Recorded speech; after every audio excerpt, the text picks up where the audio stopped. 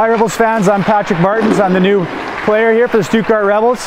We'd like to invite you to come down Friday at 8 p.m. at the Eiswelt for American Hockey Night. It's the final between the Hornets and the Rebels. We're going to have a few special things for you this night. We're going to have an opera singer for the U.S. anthem, some cheerleaders, special guests Sven Zywitzka and Meckatzer Beer. See you there.